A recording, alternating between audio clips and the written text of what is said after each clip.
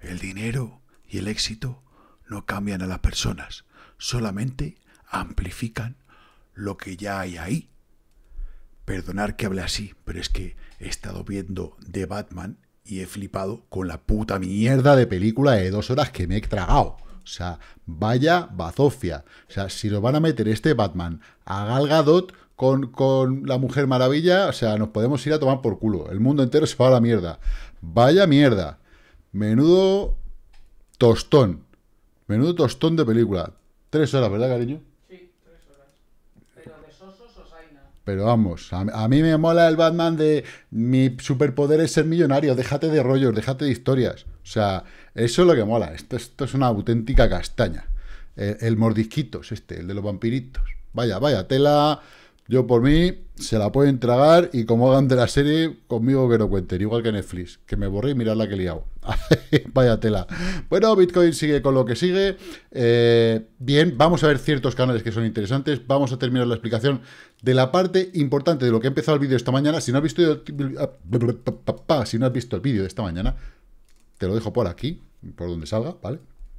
Eh, porque creo que es importante para ver con lo que vamos a continuar ahora. Así que comenzamos.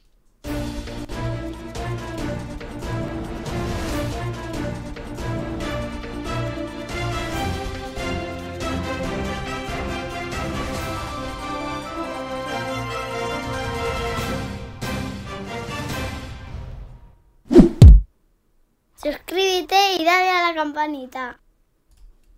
Pues eso, suscríbete y dale a la campanita porque se más lo dice mi niña, tienes el deber de hacerlo, el deber moral de suscribirte y de darle a la campanita. Bueno, decía Lawrence Stern, ¿no? el afán de conocimiento, como la sed de riquezas, aumenta siempre con su adquisición. Es decir, cuanto más tienes, más quieres, y cuanto más sabes, más quieres saber.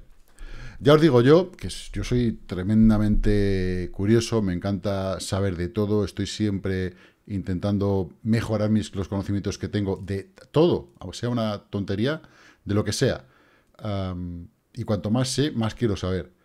Y ya os digo que cambiaría lo que sé por todo lo que no sé. Seguro que es algo ganando. Pero bueno, esta es la vida. Bueno, Bitcoin, Bitcoin, ¿qué ha pasado? Pues mm, lo que de momento está dentro de un, un rango que contábamos con ello, ¿vale? ¿Qué pasa? Que hay temporalidades en las que se está poniendo feo de cojones. O sea, pero muy feo, ¿vale? Eh, llevo meses diciéndolo, o sea, lo he dicho por activo y por pasiva. Desde enero que empezó el año, eh, ya sabéis que yo mi, el equilibrio de mi cartera está en un 70-30, es decir, 70 hold, 30 trading. Pero en enero ya no, fue un, ya no fue un 30, de un 30 pasó un 27. En febrero de un 27 pasó un 24, en marzo de un 24 pasó un 21 y en abril ha pasado de un 21 a un 18% en trading. El resto lo tengo en liquidez o está esperando a pues, liquidez, esperando a, est a, estos, a estos momentos, ¿vale? Eh, ¿Por qué hago eso? Pues porque pienso que estamos, estamos en una caída que puede ser importante, ¿vale? Creo que todavía tenemos posibilidades de cumplir lo que yo creo que se puede cumplir en un porcentaje bastante alto.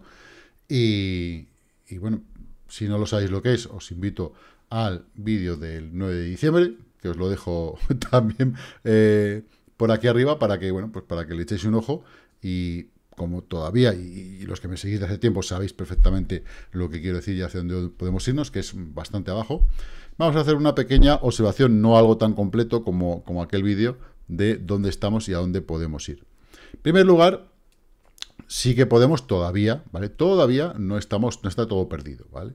Podemos venir, igual que pasó aquí, igual que pasó aquí, toquetear la parte inferior y nos para arriba. Y ni siquiera hace falta ir a llegar ahí abajo, ¿vale? Pero tiene pinta de querer.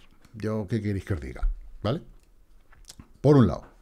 Por otro lado, tenemos este canal de 4 horas, RSI, ya sabéis que a mí me gusta verlos, y pues si lo perdemos, pues está haciendo algo parecido a lo que hizo aquí, ¿veis? Con su escaloncito, y cayó, con su escaloncito, y ha caído, ¿vale? Pues ahora está en esta zona planita, que hizo aquí también, y a lo mejor se da la vuelta y empieza a subir. puede ser perfectamente. Es decir, no nos pensemos que porque sea fin de semana no puede hacer nada, que no puede generar un gap negativo, es decir, que el gap se quede abajo y nosotros sigamos subiendo y ya lo cerremos más adelante.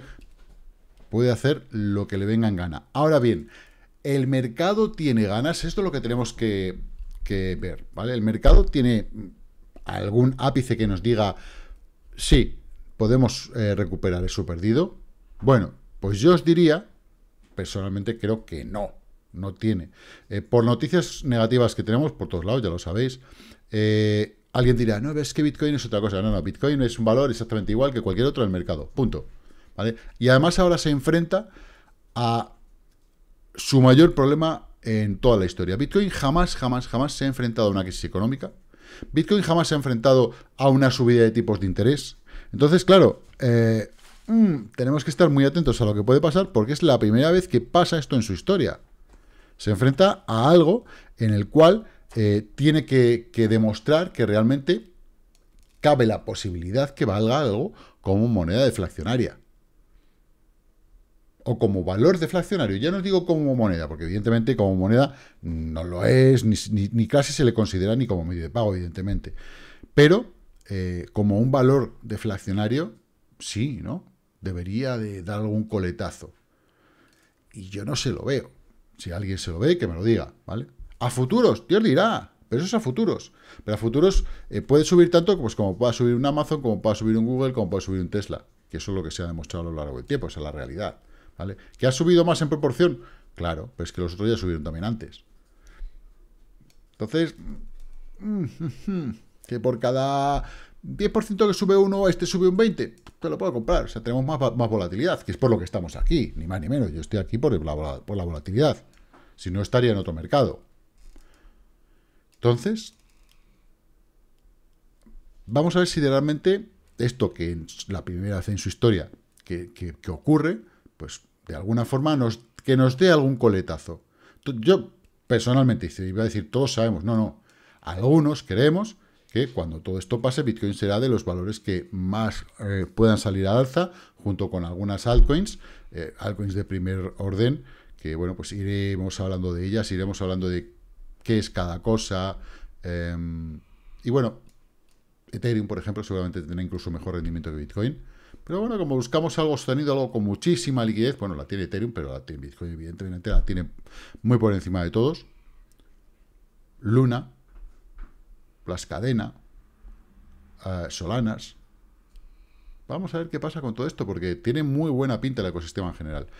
Pero de momento la economía tiene una pinta de mierda y Bitcoin también. Las cosas como son. Entonces, eh, ¿qué pasa en nuestro, bueno, diario? Pues ya vemos que mm, en esta línea de tendencia que teníamos aquí tirada, toque, toque, toque, toque, retoque, ¿vale? Pues le estamos perdiendo. Si perdemos una línea de tendencia, ¿qué suele pasar? Que solemos ir al menos a su inicio, ¿vale? En un porcentaje muy alto de ocasiones. ¿Esto qué significa? 35. Ahora bien, ¿qué pasa? Que como tenemos esta zona de 37 y pico entre medias, pues bueno, puede ser que paremos por ahí.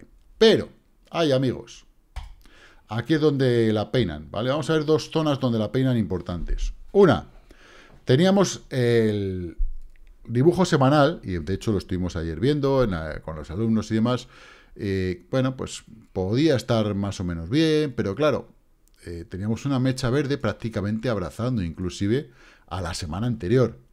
¿Y ahora qué es lo que tenemos? una doji invertida, es decir, una me voy al carajo. Si estuviera... A ver, cuidado, está en una zona de soporte ¿vale? 39.500, justo veis que está la línea roja, es una zona de soporte. No es la zona de soporte, pero sí es una zona de soporte. La zona de soporte, para mí, creo que es más importante la que tenemos aquí abajo, ¿vale? En 37 y pico, sería más importante esta aquí en 36.2. Pero bueno, esta es muy, muy importante. ¿Por qué? Porque ha sido una resistencia muy importante aquí en enero del 21, ha sido una resistencia súper importante en junio del 21, ha sido un soporte importantísimo en septiembre del 21, y bueno, pues en toda esta zona fue una resistencia que pues, mandó por debajo todo. Ahora debería o podría ser un soporte muy importante y, y teniendo una doji invertida en un soporte puede ser un cambio de tendencia y que nos vayamos al alza. ¿Vale? Con una, inclusive, falsa salida, es decir, que después de esta vela semanal, imaginamos que cerra así, podríamos tener una vela de este tipo, ¿vale? Inclusive más, más parecida a esta, yo creo, ¿vale? Tocar arriba y un martillo hacia arriba, ¡pum! Pero, pero, para eso debe de tener ganas el mercado. Si el mercado, ¿veis? Fijaos lo que pasó aquí, que llegó, pero bueno, y se, se vino arriba. Pero si el mercado no tiene fuerza, ganas, ni chicha, ni limona, lo que puede hacer esta vela va a ser algo parecido a esto. Patapum, pum, pum. O sea, en, en- en dos caminos, para abajo, pam. ¿Vale? Eso es lo que yo pienso que es más probable que haga. ¿Por qué? ¿Por qué? Primero, por cómo está el mercado. Segundo, nuestro RSI semanal, ya sabemos que pues, está flojeando. Tercero, vamos al mensual. En el mensual, que eran, joder, todavía puede darse la vuelta, vuelvo a repetir, estamos a día 22, le queda una semana para hacer lo que tenga que hacer. Si no lo hace, estamos perdidos, ¿vale? Estamos bastante perdidos. Eh, esta vela mensual, esta vela mensual es una auténtica castaña, es una auténtica bazofia. O sea, como encima sea más baja y abrace esta zona, preparémonos, señores, para besar la zona de 32. Preparémonos. Aviso, ¿vale? Yo lo digo porque hay gente que, bueno, pues no ve las velas mensuales. Y una vela mensual que abrace la anterior, encima era una vela martillo, era muy bonita. Y que abrace esta otra, o sea, tela. La siguiente va a ser para abajo. Ahora bien, todavía nos queda una semana, ¿vale? Que tenemos que ir al lado positivo, tenemos que intentar ser positivos. Nos queda una semana para darle la vuelta a esto, que digamos esto sea una doji invertida en una zona de soporte y haga un cambio de tendencia y nos vayamos para arriba y cambiemos esa cosa tan fea mensual que acabamos de ver. Podría ser, ¿vale? Se puede dar. Tenemos aquí, ¿vale? Esta línea, toque, toque, toque, toque otra vez, que podría intentar la semana que viene ir al alza y buscar la línea de tendencia. Eso es un poco la idea. Pero, ay amigos, si no lo cumple, ¿qué pasa? ¿Sabéis? Nos vamos para abajo. Si nos vamos para abajo, ¿dónde, dónde nos tenemos que apoyar? Pues donde nos hemos apoyado siempre, ¿vale? En esta línea verde que ya lo he dicho varias veces. Caer aquí, ¡pam! Pero claro, ¿qué significa caer aquí? O sea, porque sí, esto es muy bonito, pero ¿qué significa desde los 46 puntos caer a esta línea de los 39 y medio? Pues vamos a verlo. Por ejemplo, mm, si lo hacemos muy rápido, desde los 46 puntos hasta ahí, pues fijaros que eh, sería todo esto.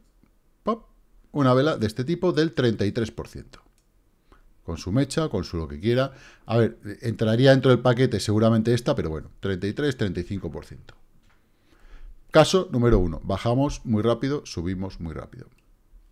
Caso número dos, criptos inviernos normales y corrientes, o ciclos, no por no llamarlos tan feo, ¿vale? Eh, ciclos en los que hemos estado anteriormente, uno y dos. Este es el 3, ¿vale? Tiene una forma completamente distinta, pero vamos a ver qué pasó en este caso.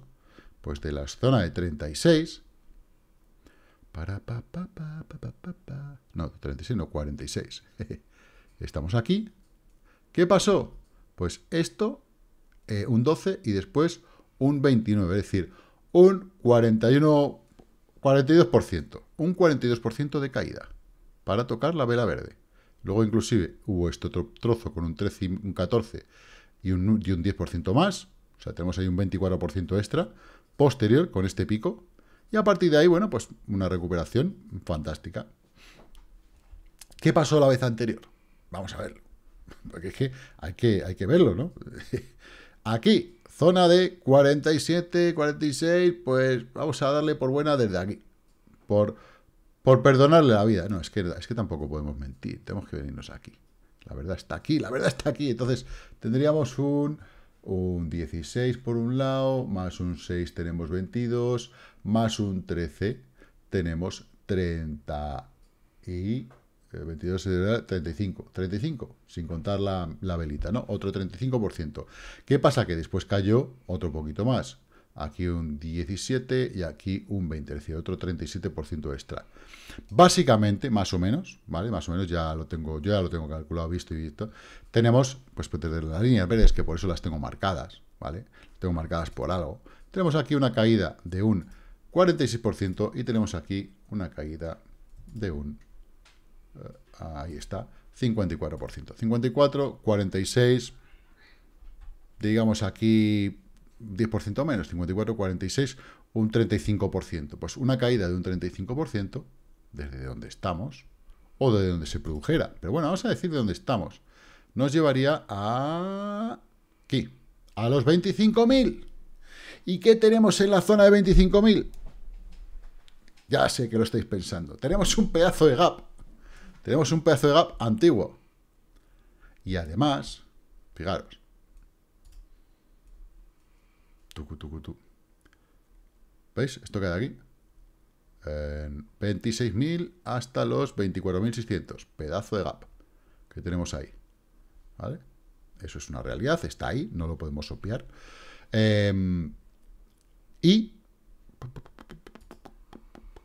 tenemos otra cosa, que históricamente, ya lo hemos visto, hay ciertas medias que hemos perdido. Y que cada vez que las perdemos, nos vamos al carajo. Además, fijaros en esto, bueno, este es el hold que no, que no, aquí no, en este caso no, no pinta porque es semanal. Uh, este, y abrimos el all-in-one. Bueno, ¿qué le pasa al all-in-one? Que no solamente tenemos perdida la media de 50 y la EMA 20, ¿vale? que es la que hemos venido a retestear esta semana, hemos retesteado la EMA 20, hay gente que lo utiliza como MA 21, es lo mismo, muy parecido, ¿vale? Eh, pero ¿qué pasa con nuestra línea de medias? ¿Veis? Que estaba en verde, estaba subiendo, además estaba poniéndose contenta porque esta vela estaba verde y esto estaba verde, pero en el momento que se nos ha venido abajo, se ha vuelto a poner rojo. ¿Esto es malo no? Malísimo. Lo siguiente, que hay veces que hace eso, como hizo aquí, y luego se da la vuelta. Sí. Y a lo mejor solamente llega aquí, pum, y luego se da la vuelta para arriba. Aquí, pum, significa esta línea de tendencia de mínimos, ¿vale? En la zona de la media de 100. Veis que tenemos aquí una confluencia importante, que yo creo que es lo que debería buscar el precio posteriormente. Esta confluencia importante, la media de 100.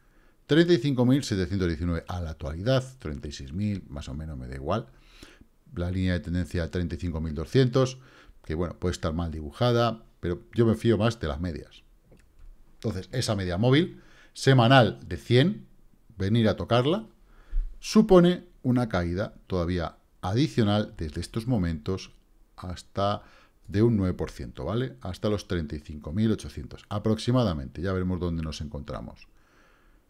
No está mal, está mal, es una buena caída, pero anteriormente, vuelvo a repetir, ¿qué ha pasado? Que cuando hemos tocado esto, nos hemos ido para abajo y nos hemos ido por la media de 200. ¿Qué pasa? Que la media de 200 todavía está demasiado abajo, 21.500, para lo que habíamos calculado de los 24.000, 25.000, recordar. Entonces necesitamos que esté un poquito más arriba. Mi teoría es que cuando esta media de 200 esté rondando esa zona, de los 24, 25, ¿vale? Eh, venimos aquí, podríamos verla mmm, en julio, para agosto, por ejemplo, para el verano, sí. Me cuadra bastante bien con el verano, por ejemplo, que aquí tonteemos, volvamos a subir y al final en verano, pum, en agosto, cuando las caídas, famosas caídas, si ya las caídas de la bolsa están siendo tremendas y van a ser más, pues en agosto, que es cuando todos como que se abandona un poco, ya su libre albedrío, pues sería un buen momento con esta media que esté ahí y hacer esa caída hasta, hasta ese punto, cerrar ese gap y luego irnos para arriba y todos felices y comeremos perdices. Ahora bien, todo lo que baja puede bajar más. Todo lo que baja puede bajar más. Ya sabéis que esto lo he dicho mil veces. Ya veremos.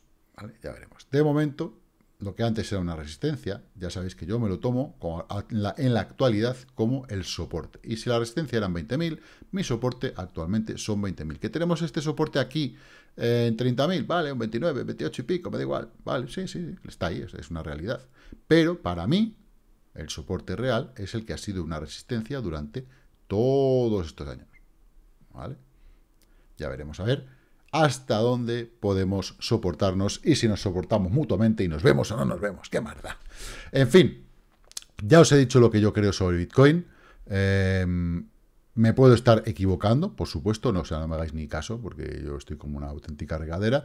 Siempre digo cosas que luego, pues, bueno, alguna vez sí se cumple, vale, ya, pero tampoco, tampoco pretendo tener la única verdad. Seguro que hay muchas más opciones. Está, por supuesto, ¿vale? La opción positiva ya la he dicho, ¿vale? Lo hemos visto antes. Yo no quiero poner todo tan negro. Estamos dentro de este canal, en diario, que de momento está respetando. Eh, y ahora mismo podríamos irnos arriba y dentro de dos o tres semanas cerrar un gap más abajo el precio, yo qué sé, eso ya, eso no lo sé, ¿vale? O simplemente venirnos a la parte inferior del canal, ¿vale? Igual que hizo aquí, igual que hizo aquí, aunque sea con otro dibujo, eh, con cuerpos y no solamente con mechas, ¿vale? Pum, y rebotar enseguida e irnos a la parte superior. O sea, todavía no está todo perdido hasta que no cerremos el mes, ¿vale? Como os he dicho, la vela más importante que tenemos ahora entre manos, aparte de la semanal, que eso ya lo sabemos, es esta vela mensual, que a ver, no hace falta ser un experto para saber que es una, fe, una vela fea de cojones, más, fea, más que, que Modric, la vela, o sea, es tremendo, ¿vale? Entonces, eso es lo que hay. Eh, bien, en cuanto a la dominancia de Bitcoin, pues fijaros el pepinazo que se ha metido. Pero claro, nosotros queremos ese pepinazo, pero Bitcoin subiendo. Oh, aunque tampoco es malo del todo, las cosas como son. Pero claro, pepinazo abajo de la dominancia. El total market se ha caído también. Hay algunas altcoins que están sufriendo, pero hay otras que están recuperando dominancia. Y esto es importante. Esto es muy, muy importante.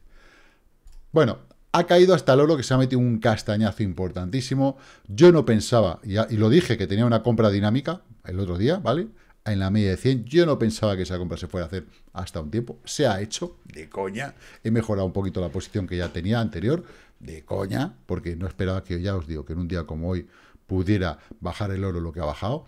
Eh, bien, porque fijaros cómo ha respetado, ¿veis la línea de tendencia que tenemos en el RSI? Por eso son importantes tenerlas, toque, toque, toque, toque y toque, ¿vale? Justo ahí y pum, para arriba. O sea, espectacular, espectacular. ¿Qué pensáis que va a hacer la próxima vez que intente ir hacia la sobrecompra? Pues evidentemente una subida importante, ¿vale? Si ya irá al objetivo inicial que tengo yo de la entrada más un extra. Entonces, bueno, pero paciencia porque es lo que tiene el oro, que tiene sus tiempos. El resto de la bolsa, como veis, se ha metido una castaña bastante importante, ¿vale? Y además ya acumulando días anteriores. Eh, hemos visto, o no sé si lo hemos visto, lo hemos visto, ¿no? el SP500, o sea, fijaros, un 2%, ¿eh? Cuidado, mirar la castaña que lleva, esto es en cuatro horas, y vamos a ponerlo en diario, porque es importante, ¿vale? O sea, el castañazo que lleva y lo que yo creo que le queda, Normalmente los viernes, que suelen ser un poquito más al aire, es un poquito más tal, bueno, pues yo creo que esta línea amarilla que tengo aquí en 42, eh, 4.258, más o menos 4.260, 4.250, pequito arriba, pequito abajo, eh, se la puede pegar. A ver, esta cuña que ya rompió el alza, vamos a quitarla para no tener ruido y este toque lo voy a dejar porque este 4 horas es una cosa distinta, pero bueno, lo vamos a dejar. Eh, bueno, pues de momento pegándose la castaña. Fijaros también cómo el índice Nasdaq, igual, un castañazo que te crió, ¿vale? Entonces, bueno, que esto empieza a generar un canal y, luego sube otra vez arriba y va abajo, bueno, pero yo no lo veo, ¿vale? Yo soy más de que esto ha sido un rebote de la primera caída, eh, muy impulsiva, retroceso, impulsiva, retroceso. Ahora va a tener otra impulsiva, luego tendrá otro retroceso. Y así, y seguirá cayendo. Personalmente ya sabéis que yo creo que los 3.500 del, SP500 los, los tenemos que ver. O sea, y tengo, yo tengo aquí mi zona de compra. Mientras no llegue ahí, si no llega ahí, yo no pienso comprar, a no ser que, bueno, pase. Entonces tiene que pasar tiempo todavía hasta que llegue ahí, así que paciencia. Los índices son otra, otra guerra completamente distinta. Pero eh, tenemos que ver cosas. Eh, bueno, esto es en cuanto a en cuanto a la decíamos las acciones tokenizadas y demás, ¿no? Y al oro. Eh, ¿Qué pasa con las altcoins? Las altcoins no han caído. No han caído. Por eso ha bajado tanto la dominancia del Bitcoin. Esa es la buena noticia. El mercado de las criptos sigue vivo no, vivísimo. Y es lo sorprendente, es lo que no ha pasado anteriormente. Anteriormente se hundía Bitcoin y todo esto, o sea, esto no lo veías con una caída de Bitcoin como la que tiene hoy, ni por asomo, ni por asomo. O sea, están soportando y aguantando la, la tremenda, la tremenda. Entonces, ostras, eh, fíjate, hasta los Library Gates, un 789, SHA, un 789, CRV, un 460, NEO, un 447, o sea, bueno, la volatilidad cava, cava, 3,5%, ayer arriba y hoy sigue queriendo romper toda esa zona, muy bien. Los cortos de Bitcoin subiendo un poquito, bueno, aquí sube ese OVR, que cada vez que Bitcoin baja, él sube. Los presets, dinero gratis, pues igual, por ahí abajo tenéis el link, si queréis utilizarlo de buscador, pues ahí está. Entonces, los Axis también, a Filecoin también anda por aquí. O sea, Matic, Matic estaba un poquito mejor esta mañana, ¿vale? Un poquito bastante, pero ahí está, aguantando, ¿vale? Aunque esto sea contra el euro, me da igual, aquí tenemos contra el dólar y es lo mismo, ¿vale? Ape también, los eh, Axis, tres cuartas de lo mismo, están en positivo. Con la que está cayendo Cake, esta mañana está en un tres y pico, claro, intentando volver a tocar la línea de tendencia, ¿vale? Y ahí están aguantando. Luna, ¿vale? Las lunas ahí están. O sea, mm, y esto, y así todo. O sea, pero tener cuenta que tenéis que tener, no hay que tener, o sea, ahora mismo analizar cualquiera de estas cosas es una tontería y que espera un poquito a que el mercado eh, pare a ver qué pasa con, con todo esto. Yo creo que la semana que viene y principios de la otra pueden ser, pueden no estar mal. Em, pero luego ya sabemos que el 3-4 de mayo que viene la SEC con los recortes y va a decir, venga, medio punto, pum, y nos va a andar fastidiando. Em, entonces, bueno, hay que tenerlo en cuenta. Yo sé que es difícil eh, y no queremos y preferimos decir, no, eso no existe, pero, pero sí existe, está ahí, es una realidad. Em, ¿qué, os, ¿Qué pensaríais si yo os dijera, bueno, si tú pones esto aquí, eh, dentro de un año vas a tener el 100% de tu cartera. Si tú haces esto, esto y esto, el año que viene, tú ahora tienes 10.000, el año que viene tienes 20.000. Si tienes 20.000, el año que viene vas a tener 40.000. Si tienes 40.000, el año que viene vas a tener 80.000. ¿Qué harías? Suscríbete. Piénsalo, ¿qué harías? Y me lo cuentas. Bien, eh, Waves, ahí castañándose un poquito. Las altcoins contra Bitcoin. Vale, aquí está también otra parte de la chicha. Fijaros cómo, pues bueno, tenemos ayer este subió un huevo, pues hoy baja un poquito. No pasa absolutamente nada. Esto es totalmente normal. Fijaros que lo negativo es muy poco, pero ¿qué pasa con la parte positiva? Es mucho más grande que en el otro lado. ¿Vale? Entonces es momento de altcoins contra eh, Bitcoin. Que seguramente tendréis alguna entrada que está un poquito perjudicada y a lo mejor contra el Bitcoin sí ha ganado algo y ha ganado más, con lo cual la saca, sales contra el Bitcoin y ya está. Punto pelota. Asunto solucionado. Estoy perdiendo contra el dólar, vale. Pues sácalo contra Bitcoin. Contra Bitcoin le estás ganando algo ya. Y cuando Bitcoin rebote, ese porcentaje que llevas perdido, lo recuperas. Claro, ya está. Tan sencillo como eso. Pero, claro, eh, hay, que, hay que tenerlo siempre en mente, ¿vale? Eh, bueno, vemos aquí los Filecoin con un 5 y pico, One, eh, One Inch, QLC, también muy bien. Eh, Cake, 484, fijaros a la media de 200. Si la rompe, ya sabemos dónde vamos, a por estos máximos que tenemos aquí. Está bastante, bastante interesante. Y todavía tiene chicha aquí para poder hacer cosas. Eh, Loom, los Axis también contra Bitcoin. Ahí intentando llegar. Eh, esta zona que fue que se apoyó es en la que está ahora intentando romper al alza. Em, las Matic, las lunas, también. Esta, luna está tremenda. Está súper importante. Así que bueno, eh, poco más hay que decir. Eh, alguien me pidió MX contra el dólar. No la tengo. No la tengo seguro. Pues, no sé lo que es. MX, claro, eh, está en Wobi, está en KuCoin, no sé en, cuál es mejor verla. Mm, vamos a poner Wobi mismo. Alguien me preguntaba también, que creo que es importante, cuando veis los futuros, mirar el, futuro del exchange en, la gráfica, pero analizar sobre eh, eh, Bitcoin normal, ¿vale? En spot. Tú haces el análisis en spot y luego ya lo trasladas a, futuros. Pero siempre el, igual que si vais a entrar en futuros del oro, en futuros del crudo, lo que sea, primero analizar el, el pie en base y después ya iros al futuro. ¿vale? Eh, MX Token, esto no hace para, no para de subir. ¿Qué ha pasado? ¿Qué pasa aquí? Vaya. No sé, no sé lo que es, no sé a qué se dedican ni, ni qué venden. Eh, pero bueno, empezó en el año 2020, ya tiene dos añitos largos cumplidos. Tiene, joder, salió hasta la media de 200 y todo, o sea que muy bien. Eh, tuvimos esta zona de máximos y está en una tendencia bastante clara alcista. Eso no se lo quita nadie. Mm, vamos a tirar esto bien. Tuvo esta zona aquí. Y aquí la perdió. Aquí fue resistencia, bajó, la pasó, estuvo tonteando en la zona y ahora está haciéndole de resistencia. ¿Vale? Sí, ¿eh? toque, toque, no puede. Uh,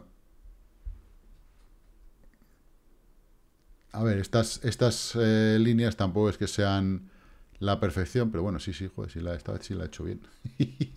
Entonces, bueno, eh, en principio, en principio, eh, debe de intentar batir sobre todo, ¿vale? Lo más importante, más que, más que la línea de tendencia que, que tiene perdida o con la que está tonteando aquí, eh, debería de batir esta zona.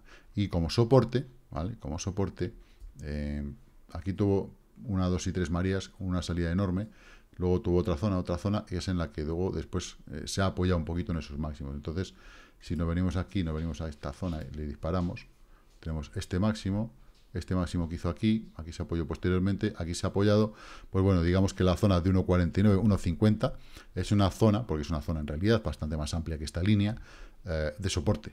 Y poco más hay que decir. Uh, en principio, el rango que tiene es súper alcista. Y lo que está haciendo es tremendamente alcista. Cada vez que cae a una zona, ¿ves? Si pusiéramos una línea de vida RSI, más o menos aquí, ¿vale? Cada vez que toca esta zona, es una de las cosas que hay que ver primero en valor. Pum, para arriba, pum, para arriba, pum, para arriba, pum, para arriba.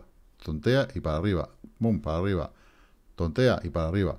Entonces, ¿cuál, ¿dónde está la oportunidad? Jodo, pues la oportunidad está esperándola aquí. Si ha llegado a un máximo de sobreventa y empieza a tirar abajo, lo normal es que caiga y pueda, y pueda en esta zona. Hacer esto, bajar, volver a caer y que esta línea de tendencia se suavice, todo esto empieza a caer y ya después intentar romperla más adelante. Todavía es un poco pronto, yo creo, ¿eh? eso creo yo. Eh, porque bueno, todo este arranque que tuvo es brutal. Pues hay que esperar y ver cómo, y ver cómo va. No sé lo que es y también atención a los fundamentales, evidentemente. Eh, seguramente lo habré visto, pero no tengo ni idea. Ahora mismo no, no, me, no me acuerdo ni de ni de todos los tokens, ni de todos los proyectos, ni mucho menos. Entonces, bueno, de momento, lo que sí es verdad es que esta línea de tendencia que viene de tan abajo, pues eh, se apoyó en ella, la ha perdido, resistencia, baja, vuelve a subir, se apoya en ella y ahora está por debajo intentando coserla, la está cosiendo, que se dice que la cose, hasta intentar llegar a esta línea de tendencia. Pero yo creo que debería de venirse más abajo, toquetear la, esta zona y quizás esta zona de los 204, ¿vale? esta zona que hay aquí, vamos a tirarle desde este máximo, ¿vale? Aquí fue máximo, fue máximo, aquí fue soporte, aquí fue máximo, aquí también fue máximo, pues deba de ser la zona de mínimos eh, en la que tenga cualquier caída entre medias, ¿vale? Evidentemente es una oportunidad importante en este valor. Eh, y poco más que añadir, porque no me habéis pedido tampoco más cosas. Estamos a viernes, fin de semana, chicos, chicas, a disfrutarlo, a pasarlo bien. No, no estéis mirando todo el día la gráfica, eh, no vale la pena, eh, va a caer. Yo creo que va a caer. Entonces, eh, lo único es esperar a que, a que se calme el temporal y tener claras las posiciones donde quiere estar. Yo tengo clara la posición donde quiero entrar. Si se cumple, bien. Si no se cumple, pues con lo que ya tengo estaré contento. Punto pelota, no hay más. Eh, que luego otra cosa es ya que en temporada más corta, pues digo, ah, tira aquí un cortito, aquí un poquito, cuando llega un punto a lo mejor a estos mínimos, luego a este, digo, a jugar un largo pequeñito y luego, eh, yo qué sé, ya veré, eso no lo sé. Eso depende de cómo cuando abro la gráfica lo que me lo que me viene a la cabeza y lo que me apetece hacer. Si no me apetece hacer nada, hay días que es mejor no tradear y pasar olímpicamente todo, porque así la cabeza vuelve a su sitio. Que ya sé que hemos tenido vacaciones hace poco, pero eh, sabía poco, sabía poco. Así que bueno. En fin, chicos y chicas, estad muy atentos, como digo siempre, invertir con mucha cautela y que la paciencia os acompañe. Chao, chao.